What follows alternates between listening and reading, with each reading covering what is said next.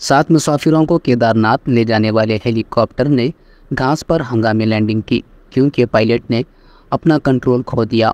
इतलात के मुताबिक, हेलीकॉप्टर ने उड़ान भरी और टेक ऑफ़ के थोड़ी देर बाद पीछे के हिस्से में तकनीकी मसला पैदा हो गया, जिससे चंद मीटर के फासले पर हंगामी लैंडिंग करने पर पायलट मजबूर हो गया।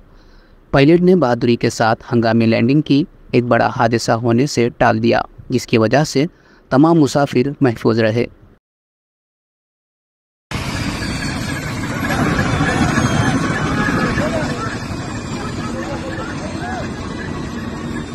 सही है। वो पैसेंजर उतारो उतारो। सही है सही है। ओफो। हरे राम जी एकदम दिल घबरा के था बहन से